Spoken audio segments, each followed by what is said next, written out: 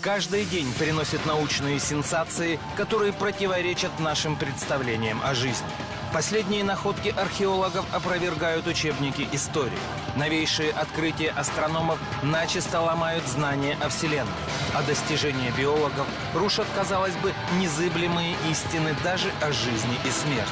Хотим мы этого или нет, но знания, накопленные человечеством, все чаще оказываются территорией заблуждений.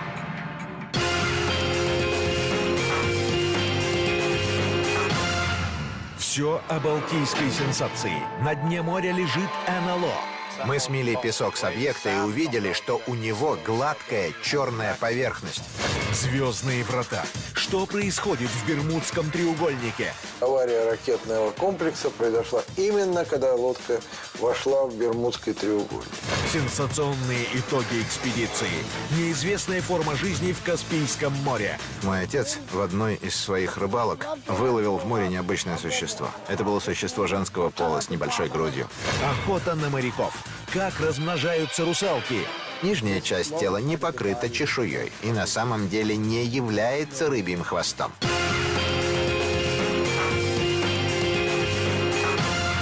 Принято считать, что об окружающем мире мы знаем практически все. В море – рыбы, в небе – птицы, на земле – человек. И если мы захотим, то любая загадка будет разгадана. Однако так ли это на самом деле? Выясняется, что нет. И даже, казалось бы, самый простой вопрос может поставить тупик, и наука беспомощно разведет руками. Совсем недавно мировые телеканалы облетели сенсационные и загадочные кадры. Запечатленное на них поражало воображение. На дне Балтийского моря водолазы обнаружили нечто похожее на летающую тарелку. Причем на этот раз речь шла не просто о снимках, а о том, что можно было потрогать руками. Весь ученый мир, затаив дыхание, ждал продолжения.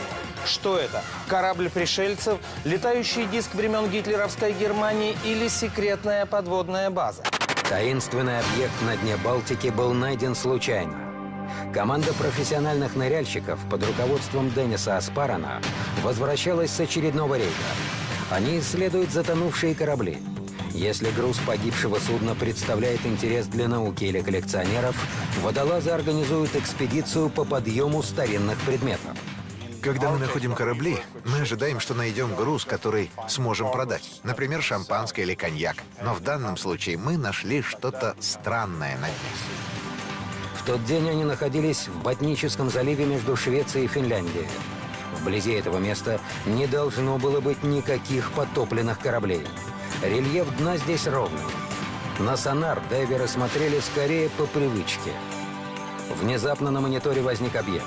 Настолько странный, что водолазы не поверили своим глазам. Он имел форму идеального круга диаметром 60 метров. Предмет залегал на глубине 84 метра и своим видом напоминал инопланетный корабль из фантастических кинолент. Я никогда не видел ничего подобного. Я видел много странных вещей на нашем сканере. Корабли, субмарины и многое другое. Но я никогда не видел ничего подобного. Рядом с объектом виднелась 300-метровая полоса, будто он пропахал борозду при падении на дно.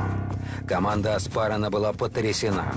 Помню, как Пит сказал, что мы нашли НЛО. Я посмотрел на картинку и понял, что никогда не видел ничего подобного. Это был поразительный для нас момент. Участники экспедиции поняли, если они хотят раскрыть тайну, им потребуется помощь. Они опубликовали показания сонара, чтобы узнать мнение самых разных специалистов. Это может быть вулкан, может быть метеорит, может быть газовый пузырь. Но это может быть и построенная штука из времен доледникового периода. И, конечно, это может быть НЛО. Но даже именитые ученые не могли объяснить происхождение объекта. Вернее, все версии были за гранью науки и фантастики. Ясно было одно – необходимо как можно скорее исследовать его вблизи. Мы решили вернуться к нему и использовать многолучевые сонарные сканеры, а также дайверов, чтобы исследовать этот объект. Там очень плохая видимость. Но очевидно, что это очень странное. Экспедиция, вооруженная до зубов новейшими приборами, выдвинулась в район дислокации артефакта. Они все ближе к ответу на вопрос, что же это такое. Больше всего объект похож на летательный аппарат дисковидной формы. Такие аппараты видят в небе. До сих пор исследователи не знают, что это. Новейшие сверхсекретные разработки или аппараты пришельцев из иных миров. Неужели в Балтике потерпел крушение один из таких аппаратов? Одним из тех, кто первым попытался объяснить сенсационную находку, стал российский ученый, доктор физико-математических наук профессор Борис Родионов. Он считает, что прежде чем выдвигать инопланетную версию, стоит рассекретить все архивы, связанные с созданием и испытанием летательных аппаратов дисковидной формы. Информации об этом очень мало. Известно только, что летающие тарелки, передвигающиеся в пространстве на совершенно иных принципах, начали разрабатывать еще в фашистской Германии. Однако все разработки, документацию и опытные образцы были вывезены в США, и там их следы потерялись. И, возможно, сегодня на дне Балтийского моря найдено первое вещественное доказательство испытаний таких летающих тарелок. Однако это только гипотеза. Бывают военные секреты, которые выгодно держать как можно дольше, э, сохранять. Тогда э, другие страны еще даже и не знают об этом, а ты уже создаешь новое оружие, например, ну вот такие тарелки, которые могли стартовать из-под воды, как я вам рассказывал, да, облетая весь земной шар, доставляя там бомбы куда надо. Ряд историков утверждают, что секретная база этих аппаратов находилась во льдах Антарктиды. И именно эти тарелки видел американский контр-адмирал Ричард Бёрд во время карательной операции ВМС США, которая проходила у берегов шестого континента в 1946-47 годах. Согласно отчету контр-адмирала, неизвестные аппараты дискообразной формы внезапно атаковали и разбили американскую эскадру. Правда, отчет этот замяли. Бёрду никто не поверил. Уж слишком фантастичной показалась картина, которую представил адмирал Бёрд. Тогда и вообразить себе не могли, что из-под воды могут вылетать какие-то аппараты. Тогда просто не было такой техники ни в одной стране мира. И наверное, считали, что что-то он там это... Э, вообще эти люди какой-то бред несут в связи с тем, что вот неудачно закончился этот э, поход в Антарктиду. Адмирал Бёрд в докладе утверждал, что тарелки взмывали прямо из-под воды и с бешеной скоростью носились вокруг. Возможно, сегодня Балтийская аномалия может послужить доказательством правоты американского адмирала.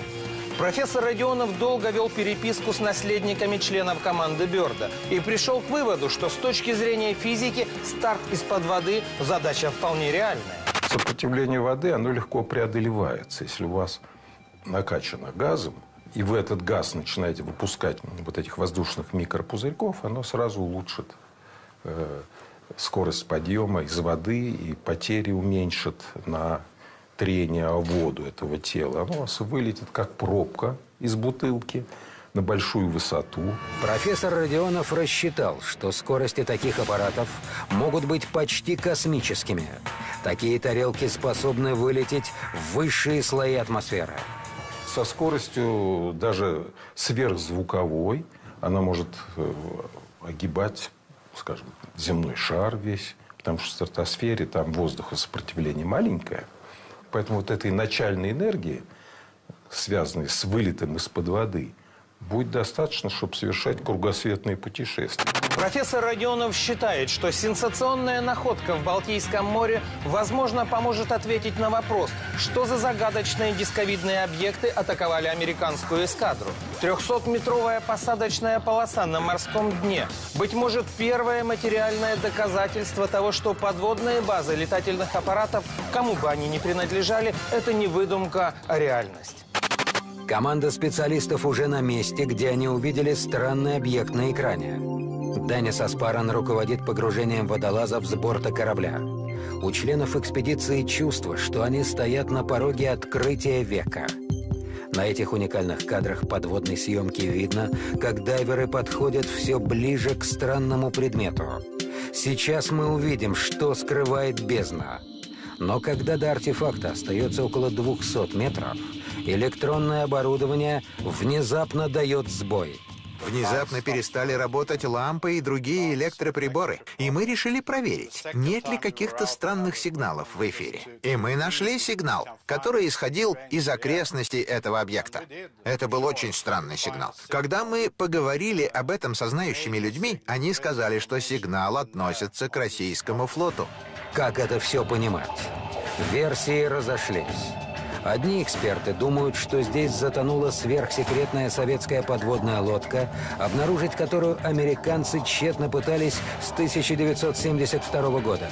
Другие считают, что объект может быть нацистской противолодочной защитной системой. Тем не менее, погружение решено продолжать. А между тем наверху у Денниса тоже накаляется обстановка. Рядом с нами было много военных кораблей. Через некоторое время приплыл шведский военный корабль. Они очень интересовались, что же мы тут делаем. Это было довольно странно.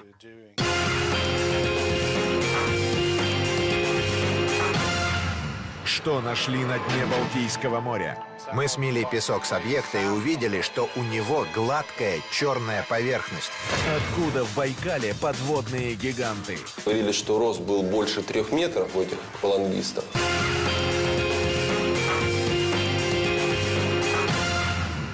Эти уникальные кадры впервые демонстрируются в России. Еще немного и водолазы смогут буквально пощупать таинственный объект на дне Балтики. Что они увидят? Запчасти с символикой Люфтваффе? Люки с красными звездами? Или бортовой номер с надписью «Сделано на Марсе»? И вот, наконец, исследователи достигли цели. Похоже, это не было кораблем. Но то, что они увидели, просто поражало. Это выглядело как конструкция. Как строение на каменной платформе. Что-то очень странное. Его просто заметить. Оно выглядит бетонным, поэтому мы и решили, что оно бетонное. Объект выглядел монолитным, мертвым и безжизненным. И прежде всего явно искусственным.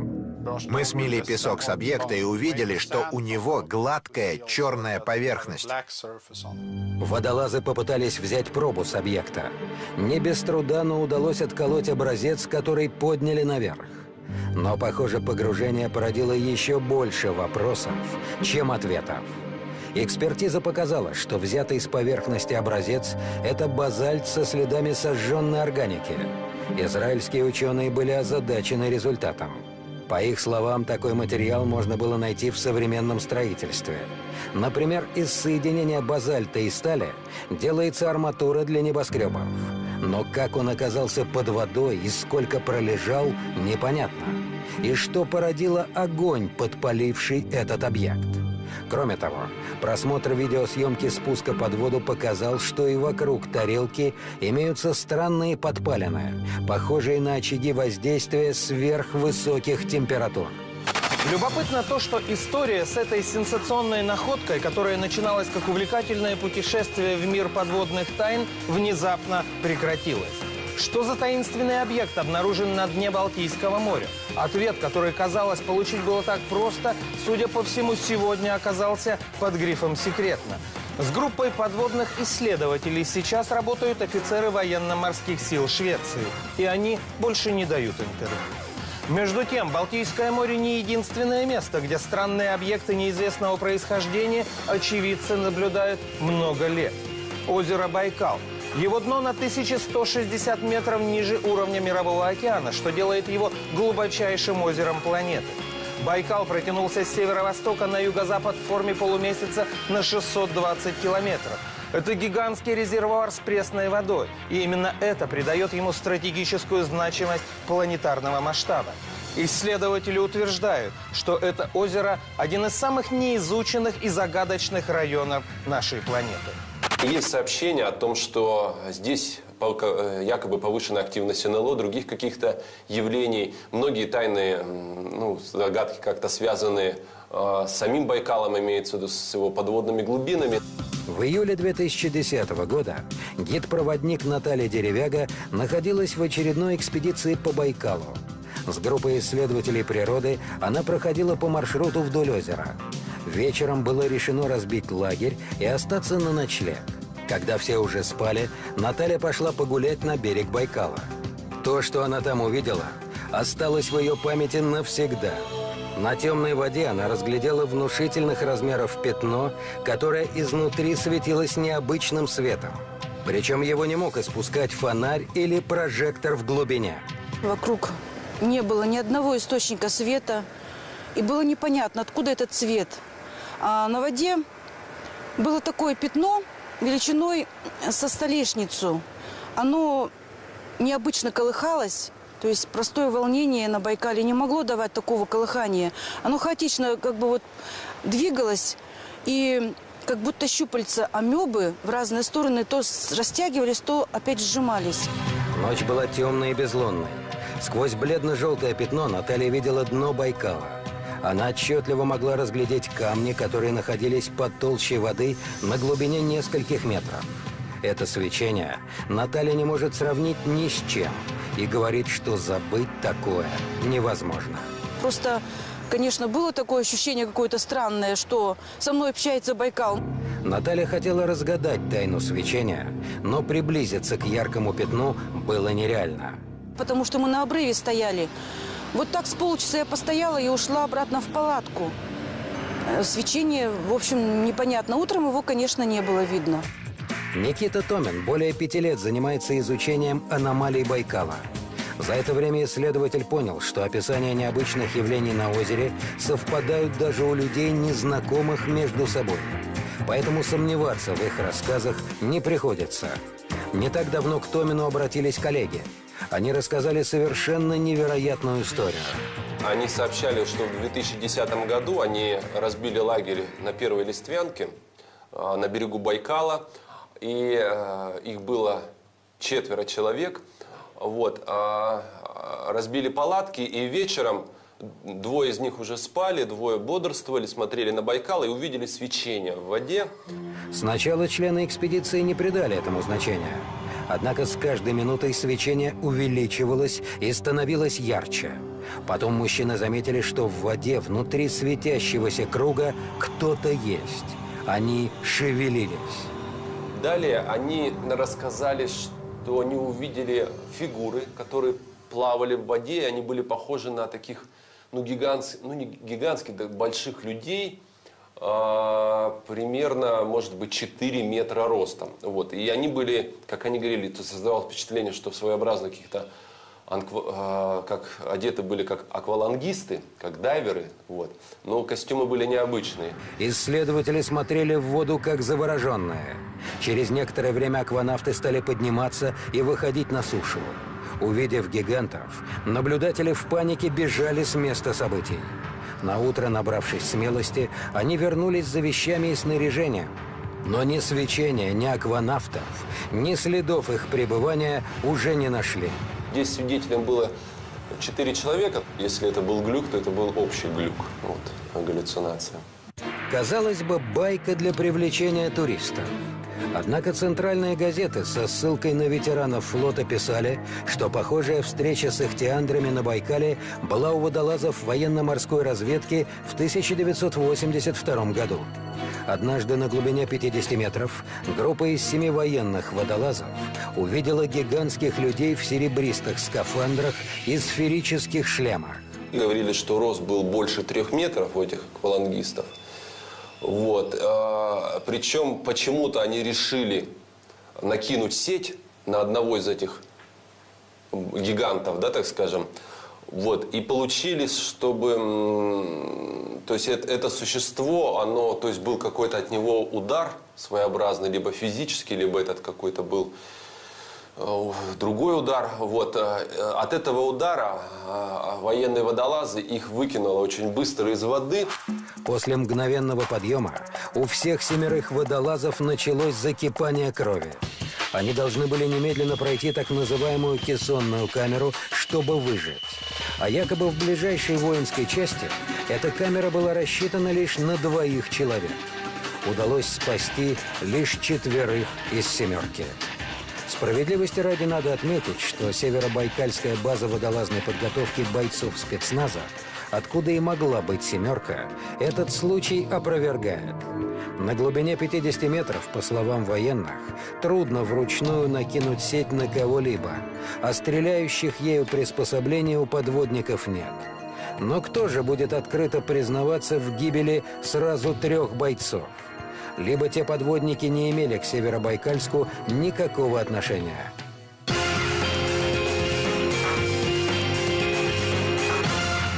Откуда под водой возникают странные аппараты? Очень велика вероятность, что на глубине, в океане, у них есть свои базы. Что происходит в Бермудском треугольнике? Авария ракетного комплекса произошла именно когда лодка вошла в Бермудский треугольник.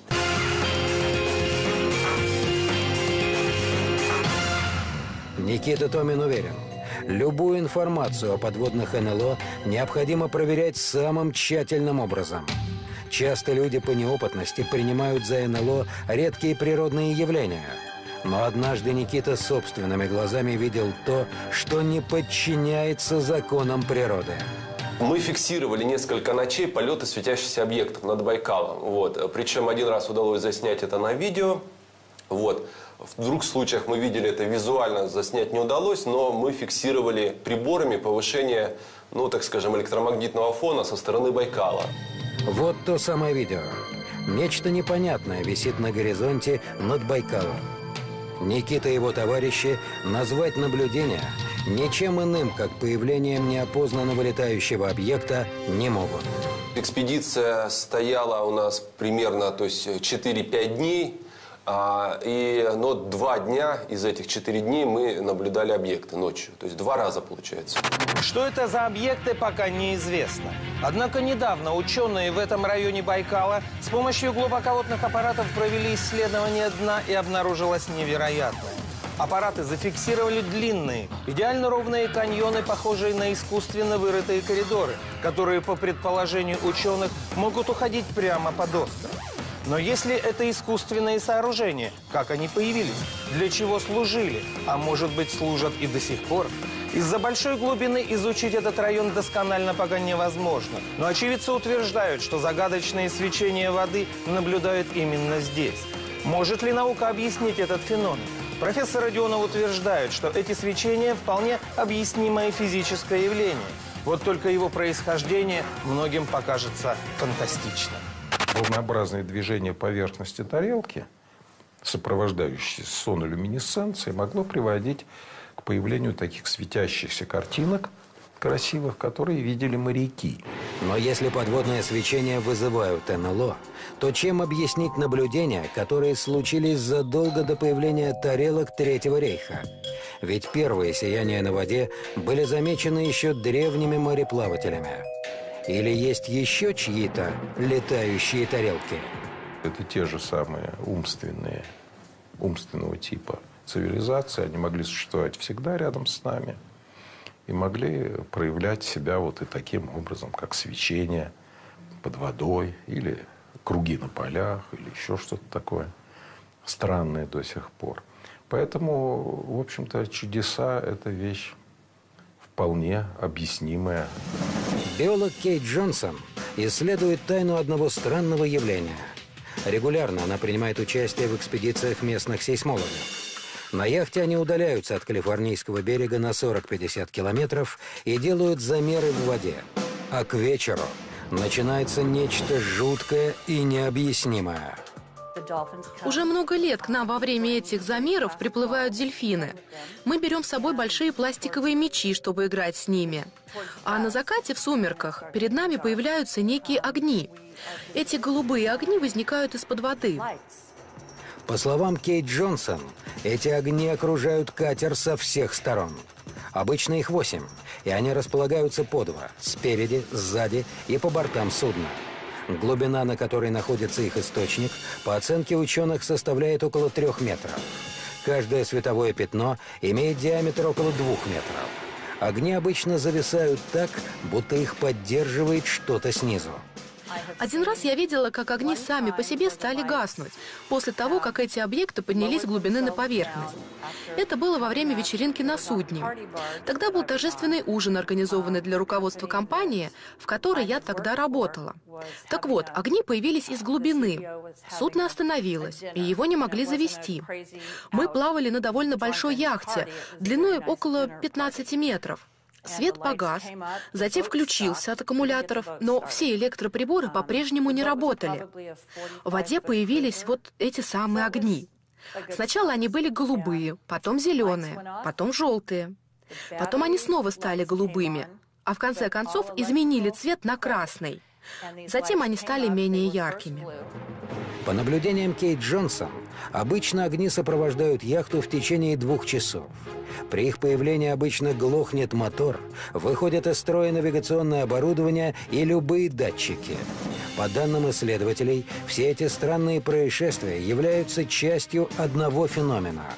Его вызывают неопознанные подводные объекты – мы увидели, как этот корабль или нечто похожее на корабль плыл вокруг нас, повернул направо и поплыл по каналу. Плыл он тогда между нами и островом Святая Каталина. Потом мы увидели, как примерно в 500 метрах от нас этот же объект взлетел в воздух. Был он круглой формы. Как только он поднялся в воздух из воды, все огни на нем моментально погасли. Он улетел в небо. Исследователь из Калифорнии Престон Деннет почти четверть века занимается изучением подводных НЛО. В ходе своих исследований он обнаружил, что под поверхностью океана активность неопознанных объектов ничуть не ниже, чем в небесах. На самом деле, речь идет об одних и тех же объектах, которые, вопреки нашим знаниям физики и аэродинамики, передвигаются и в атмосфере, и на глубине. В большинстве случаев люди рассказывали мне о неопознанных летающих объектах, которые то погружались под воду, то выныривали и взлетали в небо. На данный момент мне удалось собрать около сотни историй людей, видевших неопознанные подводные объекты. Но чьи же это аппараты? Есть неоспоримый аргумент в пользу версии, что они не принадлежат нашей цивилизации. Оказывается, эти странные объекты начали наблюдать не вчера. Первые свидетельства об этом сохранились даже в средневековом искусстве. В XIII веке есть так, так, гравюры японские, которые, я не знаю, делали монахи или кто-то такой. Да, э, лодки японские и неопознанные летающие объекты в виде эллипса с вытянутой одной стороной. Видно, что они летают. Колумб – видел неопознанно летающие объекты, когда он подходил к берегам Америки. И записал, написал об этом, что вот какой-то странный э, светящийся комок сопровождал наши корабли. Как рассказал нам исследователь из Калифорнии, биолог Престон Деннет, чтобы ответить на вопрос, когда в Америке появились первые сообщения о подводных НЛО, он поднял архивы и выяснилось, что упоминание о неопознанных подводных объектах встречается еще в древних индейских легендах. В прессе же впервые они появились более полувека назад – Например, в 1956 году на пляже в Калифорнии загадочный объект видели сразу 30 человек. Очевидцы описывали большой диск диаметром около 15 метров ярко-оранжевого цвета. Светящийся объект спустился с неба, проскользнул по поверхности океана, остановился, а затем медленно стал опускаться под воду. Вокруг него пошли круги, а потом появились небольшие волны. Однако, несмотря на это, по словам очевидцев, с берега светящийся под водой корабль был хорошо различим. Среди наблюдавших это невероятное зрелище были члены береговой охраны, которые и вызвали местную полицию. Факт был зафиксирован в полицейской хронике. Несколько полицейских и местные жители также стали свидетелями этого происшествия. Таким образом, было около 20-30 очевидцев этого погружения, многие из которых действительно являются надежными, заслуживающими доверия. Все эти люди видели объект, который в конце концов полностью погрузился под воду и больше не всплывал. Затем появились корабли военно-морских сил, которые исследовали место с помощью различного, в том числе и радиационного оборудования. Но ничего не смогли обнаружить. По мнению Престона Деннета, НЛО используют земные океаны как укрытие. У нас нет сегодня возможности погружаться на большие глубины. И для кораблей чужих это отличная возможность оставаться недосягаемыми. Так некие корабли вполне могут находиться недалеко от мегаполисов и при этом незаметно вести свою деятельность. Очень велика вероятность, что на глубине, в океане, у них есть свои базы. Потому что у нас есть несколько сообщений от людей, видевших одновременно не один-два подобных объекта, а 10, 20, 30. Были даже очевидцы, видевшие одновременно сотни подобных НПО.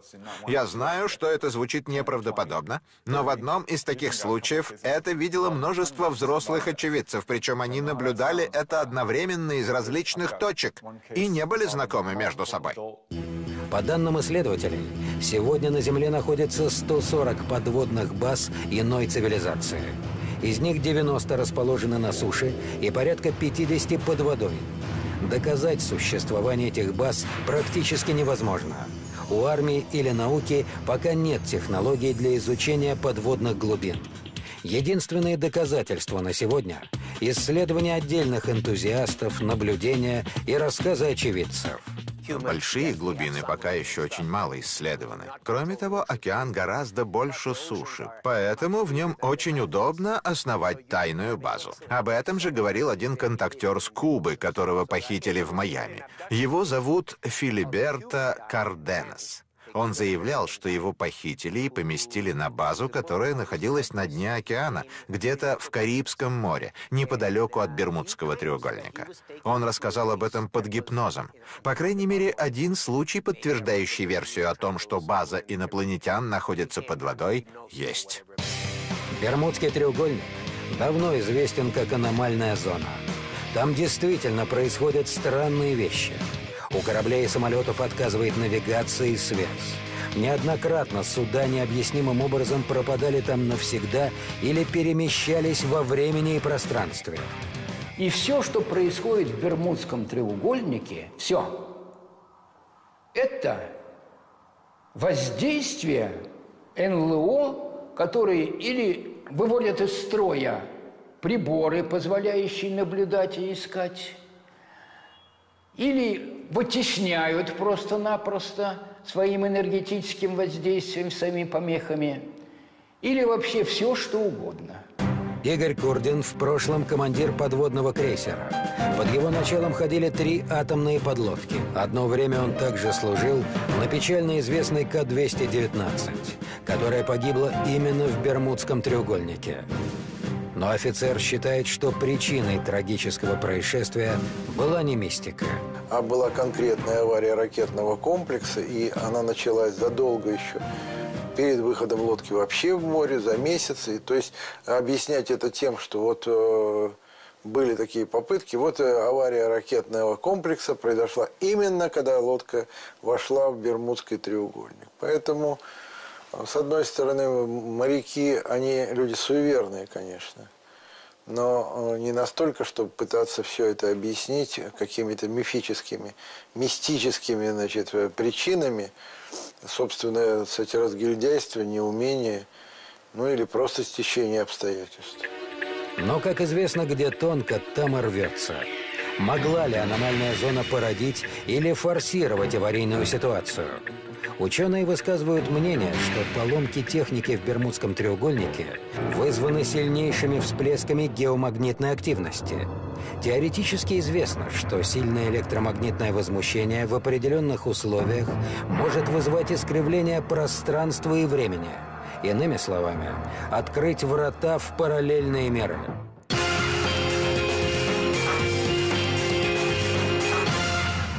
Как воевать с подводными пришельцами? Буш видел некий объект, который появился из океана и затем ушел обратно под воду. Кому принадлежат фантастические корабли? У этих объектов есть возможности, которые недостижимы для наших технологий.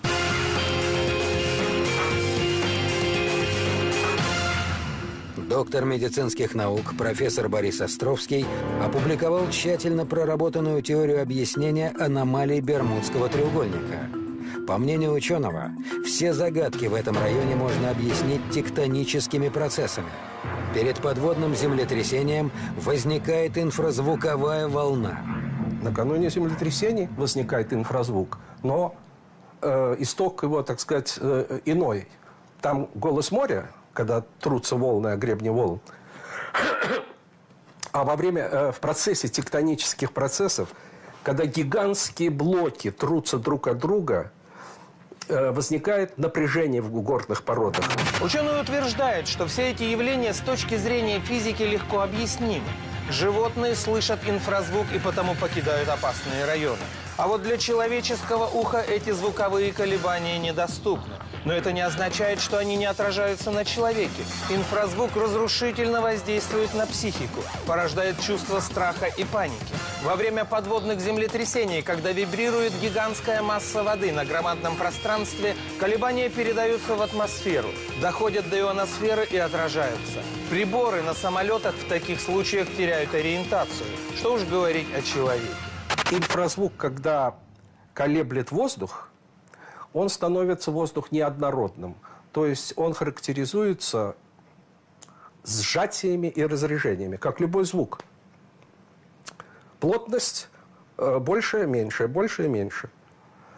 И на границах двух сред радиолуч преломляется или вообще рассеивается.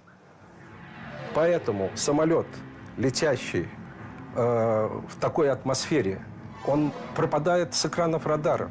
Существует гипотеза, что в результате электромагнитного воздействия меняется даже структура металла самолетов и кораблей. Возможно, в этом тоже следует искать причины катастроф. Что происходит? Изменяются э, вот эти электромагнитные процессы, они меняют физико-химические свойства э, материала, из которого этот самолет сделан они влияют на электронные системы достаточно сильно. Но прежде всего, конечно, это на э, материал, из которого самолет сделан. И может произойти даже изменение прочностных характеристик э, металла. И самолет просто разваливается в воздухе. Престон Деннет подробно изучал феномен Бермудского треугольника. Сам бывал там не раз и считает, что в нем действительно происходит нечто необычное. Конечно, некоторые феномены объясняются природными явлениями. Однако большинство случаев в Бермудском треугольнике, по мнению исследователей, можно объяснить лишь деятельностью неопознанных объектов. Эту версию разделяют и российские исследователи. По мнению ветерана подводного флота Владимира Ажажи, в Пуэрториканской впадине, а это начало Бермудского треугольника, находится самая мощная база НЛО. И она не единственная. Вот это база. Значит, такая же база в озере Байкал. Мы уже поднимали этот вопрос – Боже мой, там и глубины достаточные, там никто вообще не найдет, так сказать. Так? Вот, теперь я хочу вам сказать, что это море дьявола. Это у, э, примерно на той же широте, где и вот Бермудский треугольник, ну, это у берегов Японии, там так называемое море дьявола, где происходит то же самое. Так выглядит море дьявола с высоты птичьего полета. Оно находится в акватории Тихого океана, между Японией, северной частью Филиппин и американским островом Гуам. Если соединить их воображаемыми линиями, то получится геометрическая фигура по своим размерам и пропорциям, напоминающая печально известный Бермудский треугольник.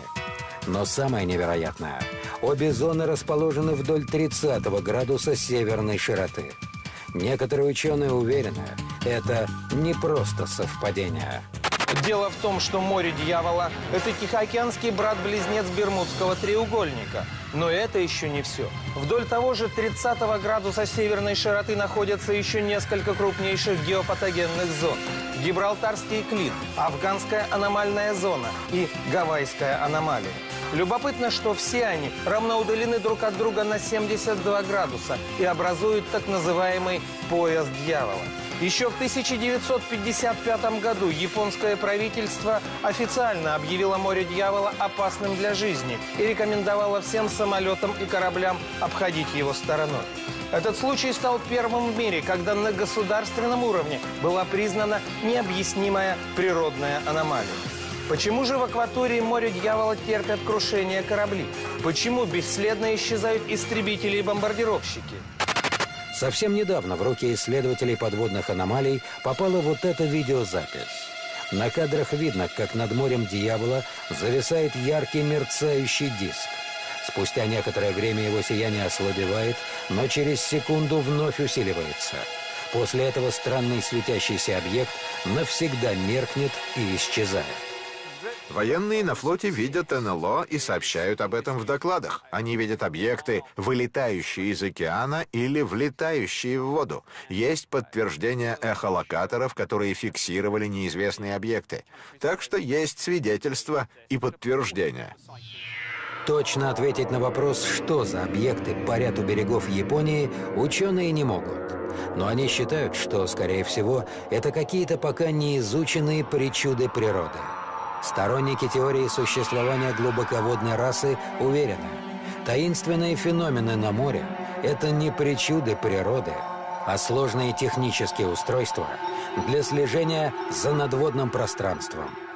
Их выводят на поверхность высокоразвитые жители океанских глубин, чтобы наблюдать за людьми – по уровню развития эти существа в несколько раз превосходят человечество. Поэтому на протяжении многих столетий им удается оставаться незамеченными. На просторах океанов и особенно в глубине огромные неисследованные пространства. Многие верят, что это инопланетяне. И есть даже теории, что под водой существуют базы пришельцев. Спутниковые карты морей, доступные в интернете, позволяют разглядеть на дне куполообразные структуры. Что это такое, совершенно неясно. Так возникло предположение, что это некая площадка для парковки двух-трех сотен НЛО. Тем более, что в районе таких структур обычно фиксируется невероятная активность неопознанных объектов.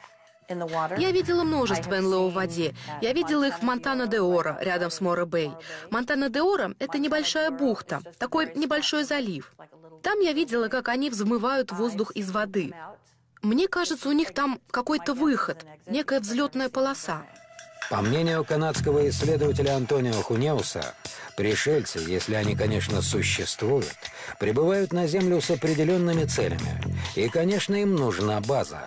Собственно, ничего фантастического в этом нет. Точно так же, пока с исследовательскими целями ползает по Красной планете американский марсоход. Идеальным местом для постоянной дислокации является именно океан. Сегодня известно довольно много вызывающих доверие свидетелей, которые не стесняются рассказывать о фактах наблюдения НЛО. Так бывший верховный главнокомандующий Чилийским флотом адмирал Мартинес Буш рассказывал об одном таком случае. Буш видел некий объект, который появился из океана и затем ушел обратно под воду. Этот объект был замечен на радаре, то есть он был обнаружен. И затем адмирал, а в те времена он, наверное, был лейтенантом, говорит о том, что капитан и его команда посмотрели друг на друга и стали решать, что им делать. И кто-то сказал, что лучше о произошедшем особо не распространяться. К счастью, теперь ситуация изменилась, и общественность все больше интересуется этим феноменом. Даже пилоты самолетов, генералы и полковники говорят о подобных случаях более открыто. Очевидцы отмечают, что неопознанные подводные объекты разнообразны по своим размерам и формам. Они не идут ни в какое сравнение с техникой, созданной человеком. Так сегодня самые быстрые подводные лодки не могут превышать скорость в 100 км в час. Возможно, существуют секретные технологии, но даже сами военные признают, что есть вещи, которые сегодня нам не подвластны. Был случай с японским кораблем. Члены экипажа увидели, как с неба в их сторону движется огненный шар. По крайней мере, им показалось, что это огненный шар. Он приблизился к ним и упал в воду. Затем он вновь взлетел из воды в небо. При этом он по-прежнему горел, светился. Это то, что мы пока не умеем делать. Мы не можем заставить ракету уйти под воду, а затем вновь взлететь в воздух. Очевидно, что у этих объектов есть возможности, которые недостижимы для наших технологий. Эксперты считают, что помимо воды для движения пришельцы могут использовать силовое поле, которое позволяет им проделывать под водой немыслимые трюки. Объекты способны двигаться на скорости более тысячи километров в час. Многие видели, как диски или тарелки вылетали из-под воды с невероятным ускорением и устремлялись ввысь. При этом есть данные, что НЛО могут двигаться очень медленно и при этом бесшумно. У этих ребят есть корабли, которые способны зависать неподвижно в воздухе, затем уйти на дно моря, потом взлететь снова в небо. Люди рассказывали, что они видели, как НЛО несколько раз подряд опускался в водоем, а затем взлетал в небо. Люди рассказывали также, что они видели, как НЛО в небе двигался в паре, синхронно с НЛО под водой. Таким образом, на обоих краях спектра их технологии сильно превосходят наши.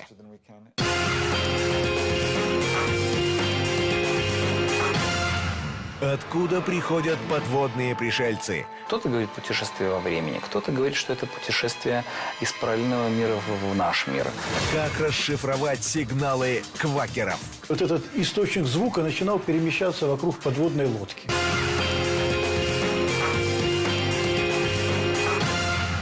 Однако не все исследователи считают, что в океане обитают непременно пришельцы из космоса. Анализ наблюдений показывает, что чаще всего летающие тарелки взлетают в воздух из-под воды. Но тогда чьи же это корабли? Не инопланетяне это. Это наши суп супланетники. Просто, ну, назовите их пришельцы. Просто вот в наш мир пришельцы. Вполне возможно, что они путешествие. Кто-то говорит путешествие во времени, кто-то говорит, что это путешествие из параллельного мира в, в наш мир. Кто-то говорит еще о там, подводном или подземном царстве. И такое, и такое может быть, просто это надо изучать. Неизвестная нам подводная цивилизация? Но разве может быть, что на планете тысячи лет параллельно существуют две расы? Как и зачем они живут там, на глубине – если при их техническом превосходстве могли бы занять любой участок суши. Впервые фантастическая гипотеза о том, что морские глубины могут населять какие-то неизвестные человеку подводные цивилизации, была высказана некоторыми учеными еще в конце 50-х годов. Причина была проста. Новая техника и средства изучения морских глубин дали неожиданную и шокирующую картину. Оказалось, что океан, который испокон веков человек считал безмолвным, ведет оглушительно громкую жизнь. Тысячи звуков и мелодий, душераздирающих криков и таинственных бормотаний. Все это удивляло, интриговало и пугало. Особенно встревожились военные, когда выяснилось, что подводные лодки во время боевого дежурства сопровождают таинственные существа. За характерные звуки им дали имя «квакеры». Вот что рассказал нам капитан первого ранга Владимир Шигин, который принимал участие в секретной программе Генерального штаба по изучению таинственных существ. Мы столкнулись с этой проблемой уже в 60-е годы, когда вошли в строй у нас такие подводные лодки 613-611 проектов, дизельные лодки, но с достаточно уже э, относительно совершенными гидроакустическими станциями. Вот. И когда лодки и наш флот, в общем-то, вышел из закрытых морей, из Балтики, из Черного моря, вышел в океан, вот, столкнулись с проблемой квакеров там. Капитану первого ранга Николаю Черкашину часто во время службы на АПЛ приходилось засыпать под эти шумы. Моя каюта на лодке, она находилась рядом с рубкой гидрокустиков. Отделялась она просто такой символической фанеркой. И когда акустики уставали слушать шумы океана. Они вот снимали наушники и включали динамики внешние как бы громкую связь. Гидроакустики обратили внимание на странные повторяющиеся ритмичные звуки. Больше всего они напоминали кваканье, за что и были названы квакеры. При этом они не имели ничего общего с голосами известных водных животных. Вычислить, какое существо издает такие звуки, оказалось непросто. К работе были привлечены их теологи, морские биологи и другие специалисты. Но самым удивительным открытием для экспертов стало, что эти звуки были осознанными, словно существа, их издававшие, были разумными и пытались выйти на контакт. Вот этот источник звука начинал перемещаться вокруг подводной лодки. Если лодка меняла курс куда-то там, допустим, ну, там, разворачиваясь куда-то в сторону, он э, тоже менял курс, начинал ее преследовать. И иногда возникало впечатление, что, ну, как сказать, он чуть-чуть не имитирует выход в атаку. Это, конечно, очень нервировало ком командиров кораблей. Медлить было нельзя. И тогда решением главкома ВМФ Советского Союза Горшкова при разведуправлении военно-морского флота была создана сверхсекретная группа, которая должна была выяснить, что такое квакеры и почему они преследуют наши атомные субмарины. Поначалу в качестве основной версии было выдвинуто предположение, что это дело рук американцев. Назревала серьезная контрразведывательная операция. Ухватить за радиопоплавок военную разведку США было делом чести. И вскоре в обстановке строгой секретности в район обитания квакеров был отправлен в экспедицию разведывательный корабль. Искали долго, прочесали половину Мирового океана, но ни один квакер обнаружен не был. А потом выяснилось, что квакеры для американцев такая же головная боль, как и для нас. И страхов у них было не меньше нашего. С квакерами, в общем-то, впервые столкнулись э, американцы э, во время битвы за Атлантику. Это 42-43 год. Гидроакустическая аппаратура у них была достаточно совершенная по тем временам. И они э, были очень испуганы, думая, что это немцы э, применяют значит, э, новую аппаратуру какую-то, значит, значит, изобретенную. Вот. Но когда, как сказать, по данным разведки узнали, что это не так, то значит, были обрадованы и отложили эти исследования на послевоенное время. Техногенная версия оказалась несостоятельной еще по одной причине – Выяснилось, что квакеры слышат не везде, а лишь в определенных районах. Как только подлодка покидала эту территорию, звуки исчезали. Так что же это такое? Военные не исключали любых версий, вплоть до инопланетных. Заговорили об инопланетянах, что, может быть, возможно, это какие-то инопланетные существа, у которых есть свои базы на дне океана, для которых морская среда, водная среда более привычная, чем воздушная. И вот они там прекрасно себя ощущают и пытаются изучать наши корабли, наши подводные лодки. И в конце 60-х годов при Главном разведывательном управлении была создана э, группа специалистов, которые пытались вот анализировать все эти явления. Командиры практически всех советских подводных лодок докладывали в главный штаб ВМФ о встречах с квакерами. Часто подводникам удавалось зафиксировать эти сигналы при помощи эхолокаторов и даже записать их на аудиопленку. Эти записи моряки отправляли в территориальное управление разведки главного штаба ВМФ СССР. Там их изучал вот этот человек. Это Виктор Бережной. Именно он собирал информацию о неопознанных подводных объектах, изучал ее а затем передавал данные в ней океанографии и Государственный акустический институт. Запросили мы, скажем, тот же э, Всесоюзный научно-исследовательский институт рыбного хозяйства и океанографии в Москве. Отослали им записи квакеров, но не указали, что это такое. Попросили проанализировать эти самые излучения. Нам пришел ответ, что э, к биологическим видам эти излучения никакого отношения не имеют. Оригиналы этих аудиозаписей до сих пор хранятся в архивах под грифом «Совершенно секретно». Виктор Бережной утверждает, за попытку сделать копии ему грозил трибунал. Поэтому в его личном архиве сохранились только расшифровки уникальных записей. Диаграммы, изображенные на этих бумагах, и есть те самые расшифровки сигналов Квакера – Сейчас вы видите эту уникальную запись. Сделана она 19 октября 80 -го года. В 16.50 начало записи. Вот на этой ленте показаны записанные излучения квакера. То есть вы видите, каждый вот этот всплеск – это единичный импульс, который, как я уже говорил, имеет длительность около 5 десятых миллисекунды. Если переложить эту диаграмму на пленку, то получится вот такой сигнал. Именно такие радиошумы слышали подводники, встречая в океане неопознанные подводные объекты. Квакер – это широкополосный сигнал. Он получается, как если ударить молотком по деревяшке, особенно если она пустая внутри, то получается такой звук. Если учесть мощности и продолжительность излучения этих звуков, то они ни в какое сравнение не идут с, э, со звуками, издаваемыми живыми организмами.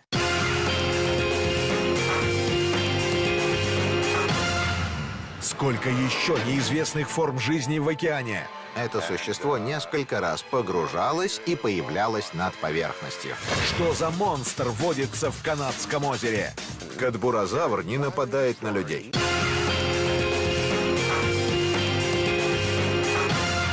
После тщательных исследований гидроакустики НИИ океанографии прислали в Управление разведки Северного флота официальное заключение.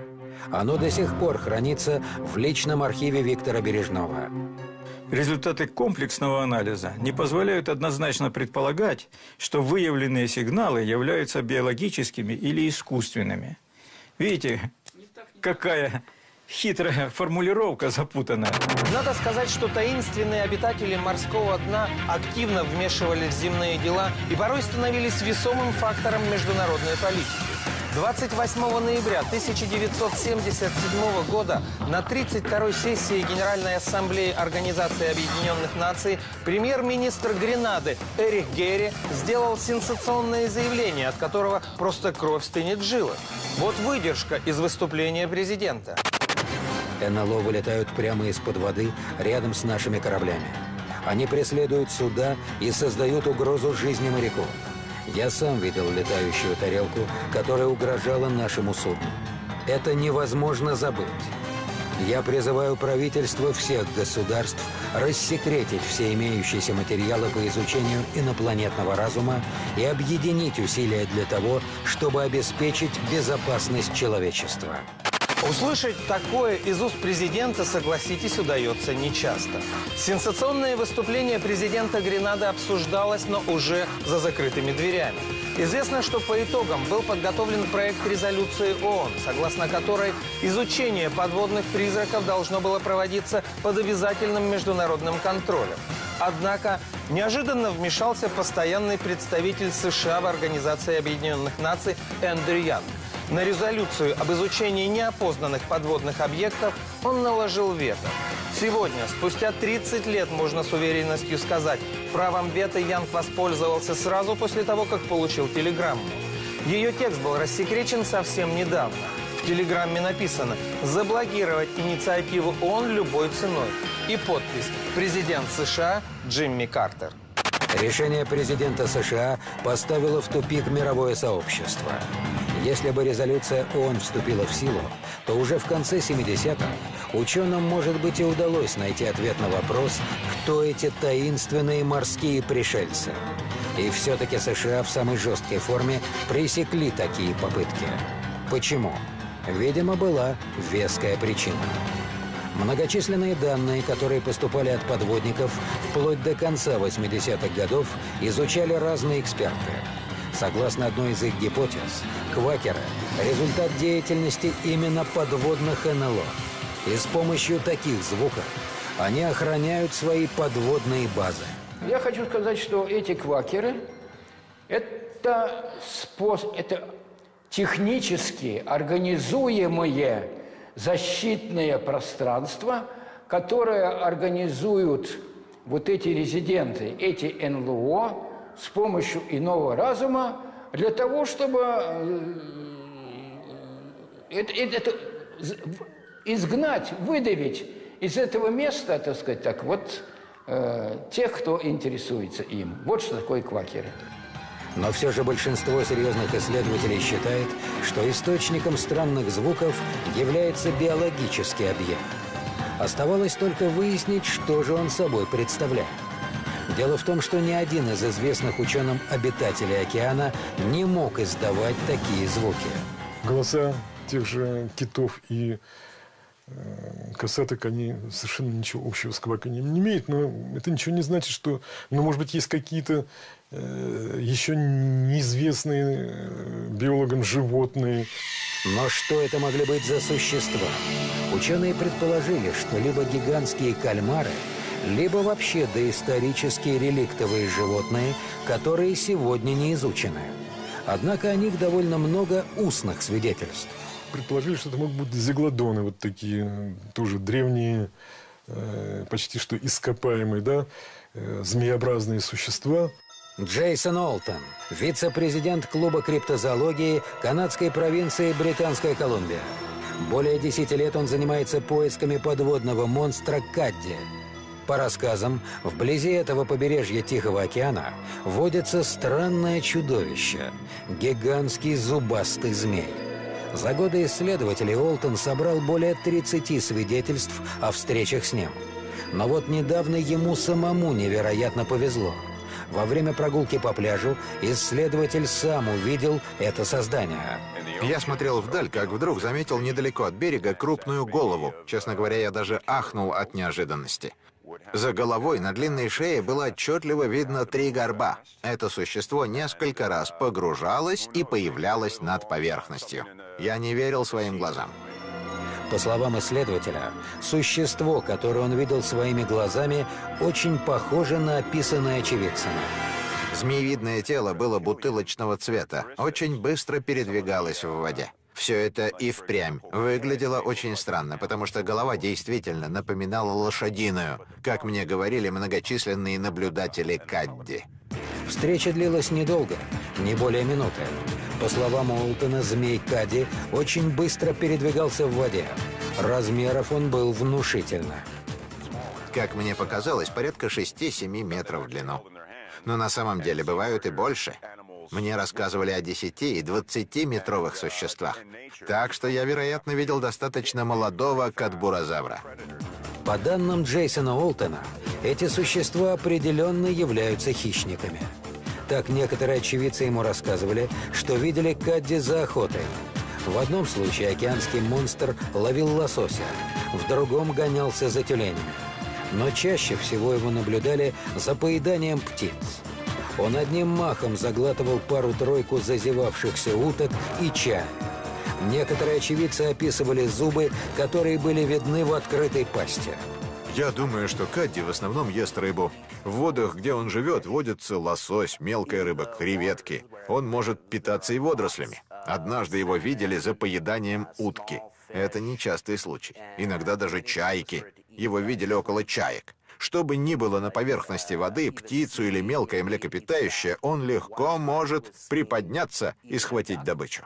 Криптозоолог Адам Магер считает, что для людей это хищное существо не опасно. Человек как пища для Кади совершенно не интересен. По крайней мере, у исследователя нет ни одного свидетельства о нападении на человека. Катбуразавр не нападает на людей. Есть одна история о человеке, который выстрелил в утку с берега. У него была весельная лодка, чтобы доплыть до утки и забрать ее. Она была в воде. Но прежде чем он добрался до нее, из-под воды всплыл Кадди и схватил утку, а потом исчез обратно.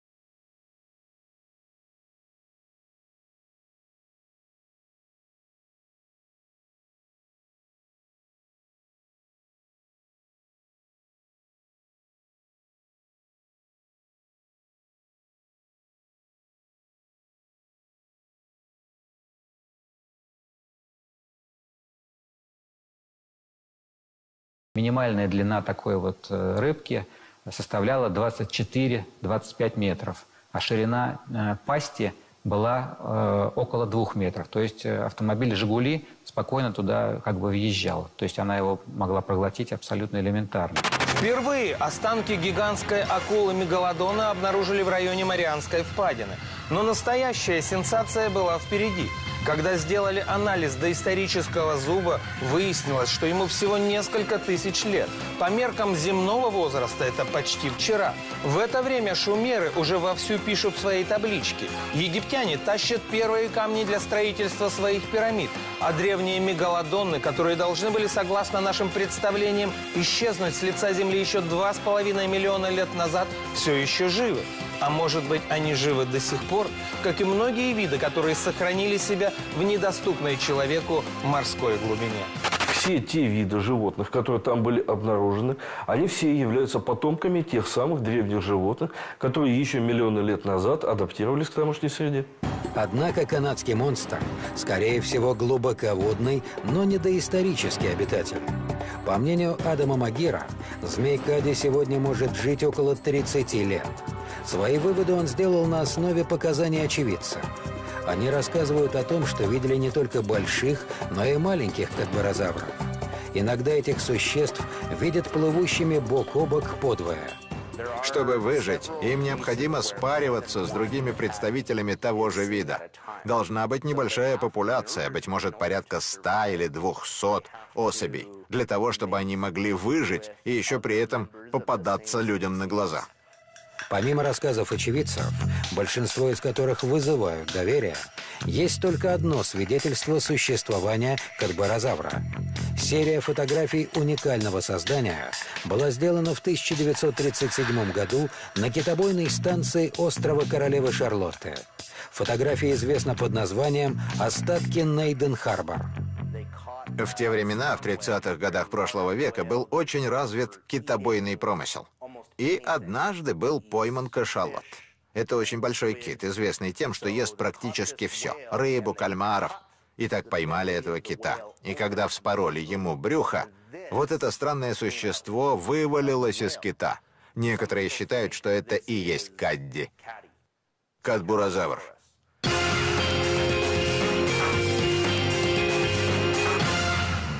Где прячется параллельная цивилизация? Там может вообще э, существовать какая-то цивилизация параллельная нашей. Откуда в Каспийском море русалки? Мой отец в одной из своих рыбалок выловил в море необычное существо. Это было существо женского пола с небольшой грудью.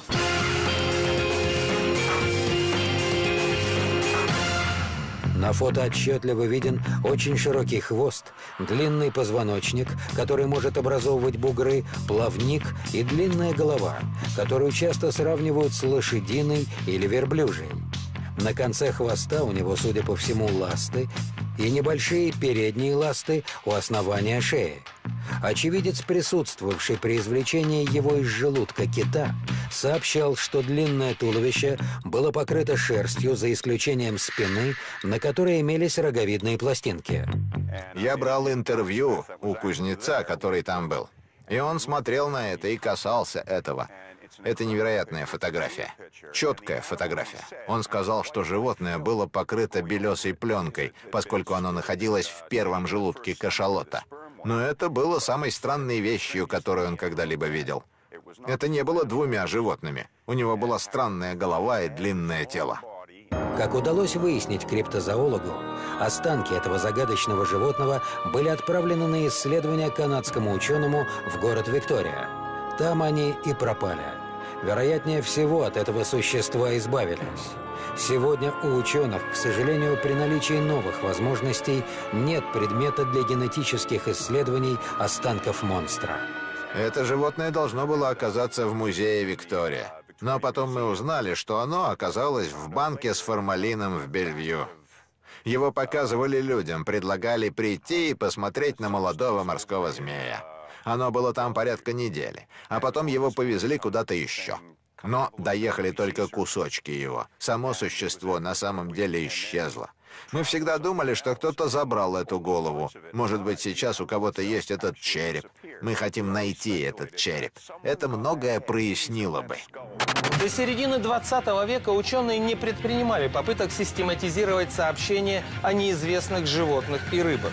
Впервые это сделал французский зоолог Бернар Эвельманс. В 1955 году вышла его первая книга по следам неведомых животных. Она произвела настоящую сенсацию и привела к созданию Международного общества криптозоологии. Сегодня криптозоологи занимаются научными исследованиями в области таинственных животных. Так написано у них в уставе. Земля существует столько времени, она существует миллионы лет. Там э, чего только не может быть у нас вот под ногами буквально в этом гидрокосмосе. Вплоть до того, что там может вообще э, существовать какая-то цивилизация параллельная нашей. Сенсационное видео сняли американские туристы под израильским городом Кирьят-Ям. На камнях отдыхало странное существо, похожее на русалку. А эти зловещие кадры сделаны из батискафа у берегов Гренландии. Ученые были атакованы жутким созданием, похожим на человека.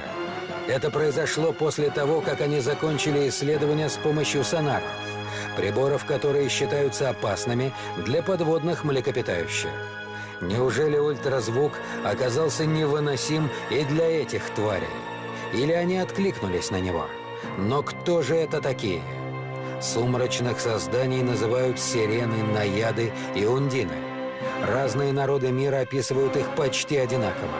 Получеловек, полурыба с бледной кожей. Они наделены мистической властью над людьми. Их пение сводит с ума. Это материальные плотные тела э, наподобие нашего, возможно, млекопитающие, потому что женщина описывает всегда с грудью, э, всегда описывают с волосами, с глазами, с ртом, с носом там, и так далее, и так далее. Э, только нижняя часть туловища описывается как типа как рыбий хвост. Вот. Э, не говорит, что у них есть ноги. Что скрывается за этими рассказами? Оптические иллюзии или неизвестная форма жизни? В погоне за чудовищем мы отправляемся в Азербайджан, на побережье Каспийского моря.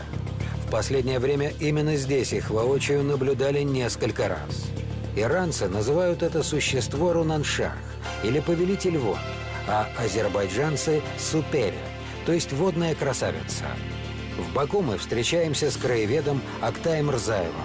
По его данным, чаще всего морскую деву видят в приграничных с Ираном районах Каспия – Лянкаранском и Астаринском. Именно здесь мы и начинаем поиски очевидцев. По рассказам, каспийская русалка миниатюрна и не превышает в длину полутора метров. Глаза большие, а руки с перепонками. Рыбаки в этих селениях говорят, что она жила в море всегда. Вот я уже живу 80 лет, я здесь живу. Мои отцы и деды, прадеды, жили здесь, можно сказать, в конце 17 столетия. Они жили здесь. Но просачиваются слухи, что, мол, вот мы там видели, то-то мертвую видели. Причем наблюдали как женскую, так и мужскую особь. Загадочного ихтиандра встретила этим летом целая семья туристов, незнакомая с местными легендами. Когда он приблизился на расстоянии 20-30 метров, и уже появились у него конечности, они увидели темного, темно-бурого цвета, блестящего, человекоподобное существо, лицо не могли разглядеть, так как были страшно испуганы. Похватали свои пляжные костюмы и убежали э, значит, в сторону. Похоже, нам повезло. И мы нашли человека, который видел Рунаншах своими глазами. Бюкага Бядалов отчетливо помнит, как однажды его отец принес домой невиданное существо – когда мне было примерно 14-15 лет, мой отец в одной из своих рыбалок выловил в море необычное существо. Примерно по пояс у него был рыбий хвост. Э, рыбий это вертикальный, а горизонтальный, как у дельфина. А все остальное было как у человека. Это было существо женского пола с небольшой грудью. Волосы были очень длинные, темные. Русалку поместили в ванну с морской водой во дворе дома. Там она пробыла три дня. Все это время вокруг нее толпился народ со всего поселка. Местные мальчишки во главе с Биокага дни напролет торчали возле этой ванны. Правда, прикоснуться к морской красавице никто из них так и не рискнул. У нее примерно вот такие руки были, сантиметров 60-70, с очень длинными ногтями. Поэтому мы тогда еще дети боялись до нее дотронуться. Нам казалось, что она может нас сильно расцарапать своими ногтями.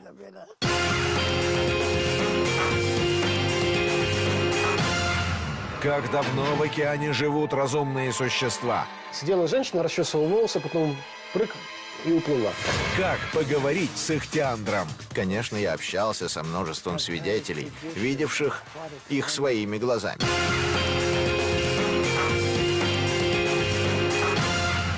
По воспоминаниям Биокага, в длину морская пленница была небольшая. Примерно метр двадцать сантиметров. Вот такой была. Вот такой. Ее пытались кормить рыбой, но она отказывалась принимать пищу. Все время водная дева проводила под водой и на воздух почти не выныривала. С ней пытались заговорить, но русалка не издавала никаких звуков. По словам Биокага, она была просто сильно напугана, потому что люди постоянно глазели на нее. Со дна она вот так за нами наблюдала. То есть это существо боялось или стеснялось над водой перед людьми показываться. Биокага Бедалов говорит, что тогда, в конце 60-х, в районе их поселка русалки часто попадались рыбакам на глаза. Его отец, дед и их товарищи рассказывали, что водные красавицы любили отдыхать в солнечную погоду на камнях, выступающих из воды. Раньше здесь очень много было островов временных, типа вулканических. Эти русалки из моря на камни вылезали даже не по одной-две, а целые стаи от пяти до восьми и грелись на солнышке. Уровень моря немного поднялся, и камни затопило. Супери считались мирными существами. Их в деревне не боялись. Но если сети были разорваны, рыбаки были уверены, что это работа подводных шалуней. Кстати, на порванные сети рыбаки жалуются и сейчас. Значит ли это, что русалки на Каспии по сей день существуют, только больше не показываются людям? Но кем же на самом деле являются эти создания? По мнению белорусского криптозоолога Михаила Голденкова, русалки являются одной из самых древних цивилизаций на Земле. Они всегда жили параллельно с нами. Скорее всего, люди и дальше считали бы их вымышленными персонажами. Однако плохая экология заставила их активизироваться. Видимо, они люди все-таки разумные и по каким-то причинам могут приплыть туда, могут приплыть туда. Где-то они специально красуются перед человеком. Вот часто видят русалку, сидящую на берегу, расчесывающую волосы. И, и так ее фиксировали в древности часто, и современные жители тоже так, так часто описывают, что сидела женщина, расчесывала волосы, потом прыг и уплыла. Ну, видимо, может быть, они вот так вот завлекают, не знаю, там, парней наших. Титулованный фридайвер, многократная чемпионка мира Юлия Петрик больше нас знает о глубине и ее обитателях. Она рассказывает невероятный случай, который произошел с ней на Канарских островах.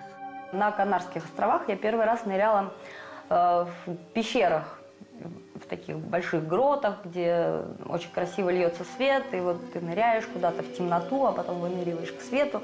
Это все очень красиво. И вот когда я нырнула первый раз, оказалась там в закрытом пространстве, в темноте, и потом начала выныривать, увидела там где-то далеко свет.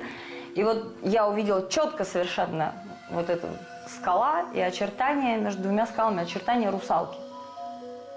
Я так долго на нее смотрела, ну вот абсолютно реально. Когда я вынырнула, у меня, наверное, совершенно были сумасшедшие глаза, потому что все подплыли ко мне, что там, что было. Я тут же подышала, нырнула снова, но я больше и не видела. Бевикада Бедалов вспоминает, что вся верхняя половина русалки была как у обычной девушки. Никаких особых отличий он не заметил. Пальцев на руках было пять, а лицо у морской девы было очень красивое. Эта история закончилась предсказуемо. О существе доложили куда надо. На собрании рыбаков решили, что нужно сообщить об этом улове местным властям. После этого сюда прибыла бригада на вертолетах, то ли из нашего института зоологии, то ли даже из Москвы, не знаю. Я тогда маленький был, не понимал, о чем это.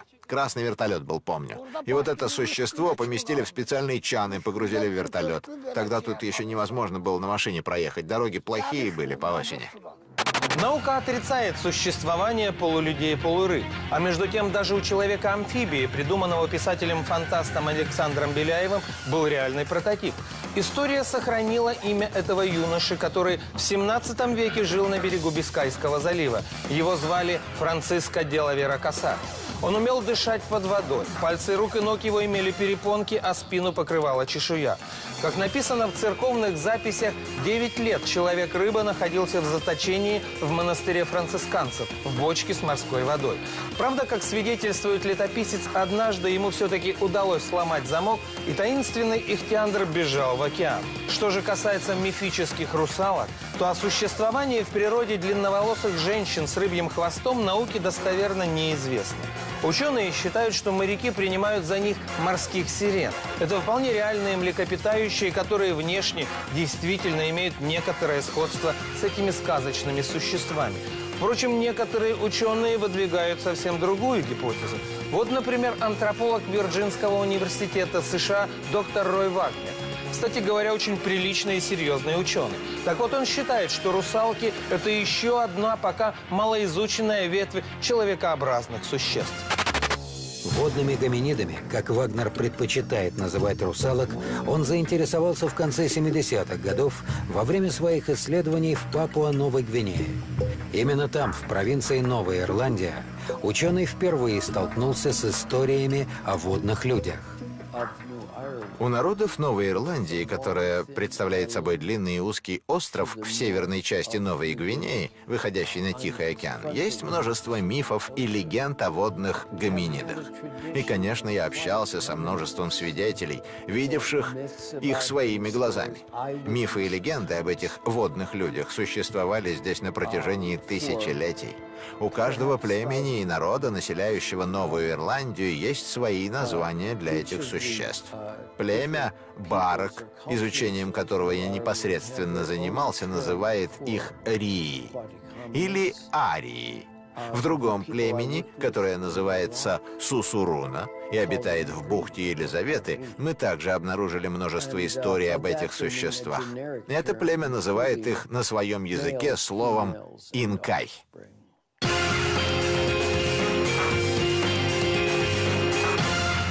Как размножаются русалки? Нижняя часть тела не покрыта чешуей и на самом деле не является рыбьим хвостом. Куда ушли атланты? Боги в древних мифах – это как раз представители этой высокоразвитой цивилизации.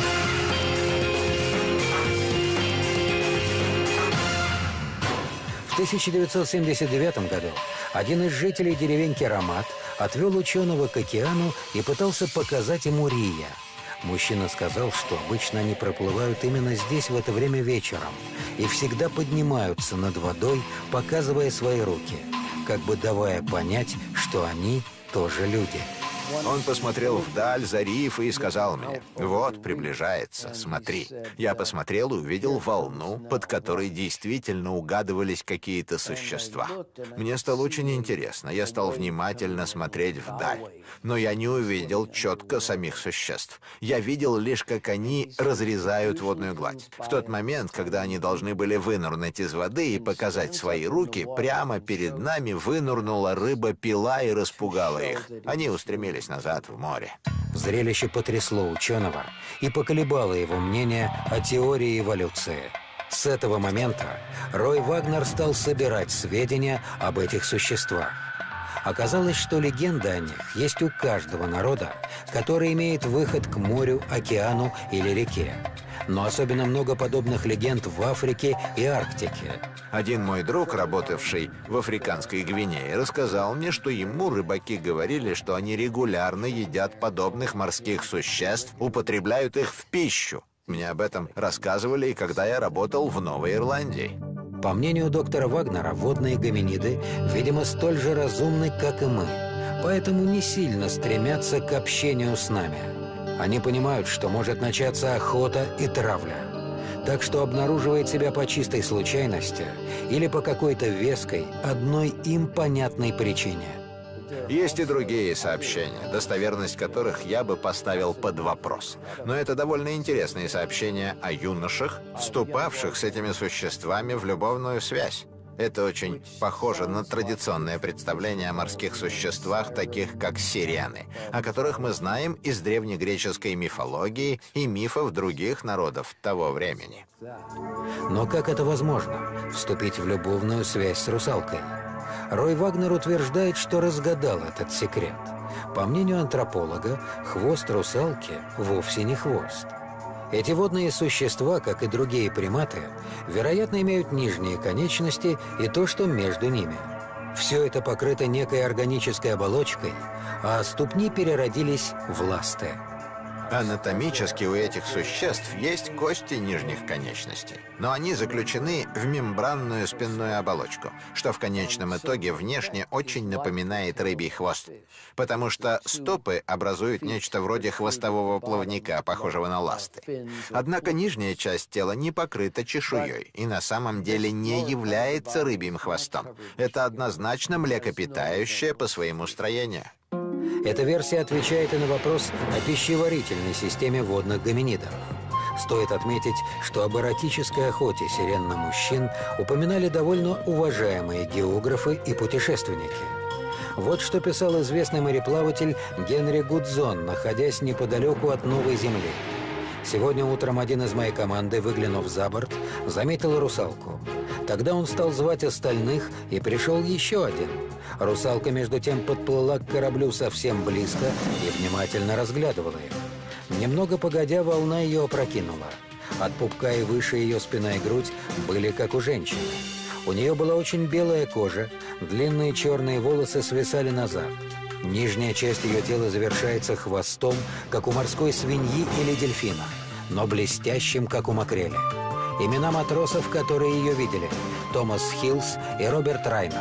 Дата – 15 июня 1608 года. Одно из самых интересных свидетельств о водных гоминидах представил антропологу Рою Вагнеру его студент Стив Джексон. Через 10 лет после Вагнера он работал в том же регионе в Папуа-Новой Гвинее. В отличие от своего преподавателя, ему удалось лучше рассмотреть папуасских ихтиандров. Стив рассказал, что однажды он с женой был в своем доме в деревне Нокон. Дело было вечером, и к ним прибежали местные, крича «Идите быстрее сюда! На риф приплыла рыба Мэри!» Так они называли русалок на местном диалекте.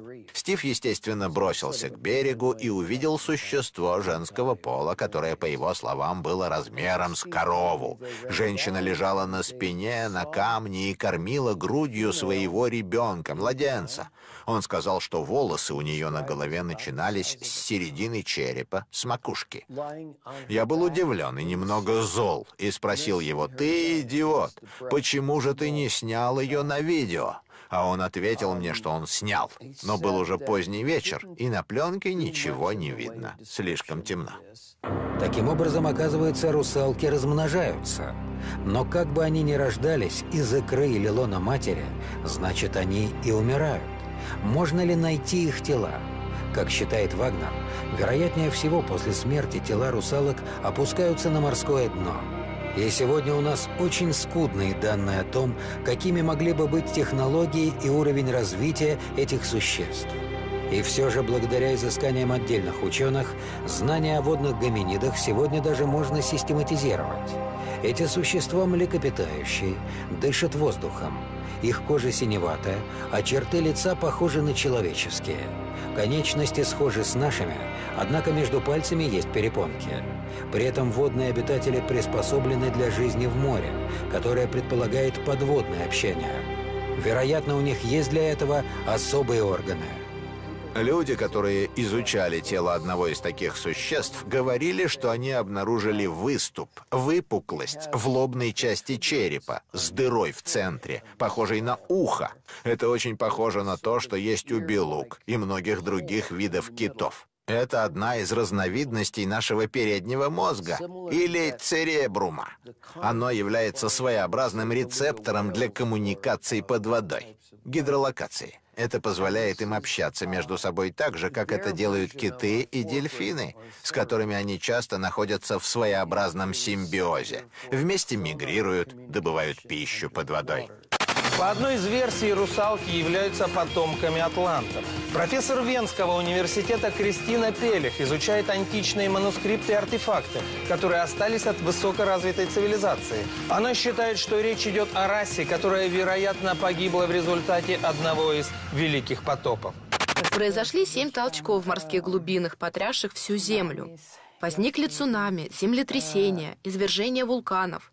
Пепел заволок все небо, и солнечные лучи не могли пробиться сквозь него. Такое описание мы можем найти в мифах почти всех народов, и до сих пор эти истории продолжают рассказывать. Это те события, которые произошли около 8 тысяч лет до Рождества Христова, в то время, когда могла существовать великая культура, которая создала карты и оставила прочие артефакты, свидетельствующие о великих знаниях. И за этим последовало полнейшее разрушение этой цивилизации. Но это не означает, что все было потеряно. Остались ведь карты, остались и знания. По мнению госпожи Пелех, некоторые представители исчезнувшей цивилизации выжили. Они описаны в древнегреческих и других мифах. Особенно близким к истине рассказам профессор считает античную поэму «Одиссея». Боги в древних мифах – это как раз представители этой высокоразвитой цивилизации. Потому что, например, Церцея, богиня, волшебница, она дает Одиссею очень точные рекомендации, как именно нужно плыть, каким путем, откуда она могла это знать. Чтобы дать такие четкие рекомендации, нужно очень точно знать маршрут. Но на чем основаны выводы профессора? Кристина Пелех исследовала средневековые карты морей, где изображены земли, которых сегодня на карте мира нет.